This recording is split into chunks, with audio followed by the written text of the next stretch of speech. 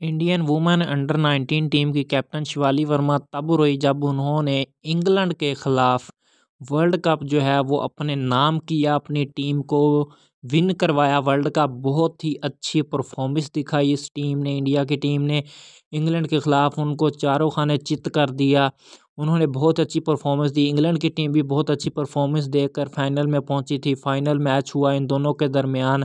तो जिसमें जो है इंडिया ने बहुत अच्छी परफॉर्मेंस दिखाई और इंग्लैंड की टीम को ढेर कर दिया। रन्स भी ना करने दिए।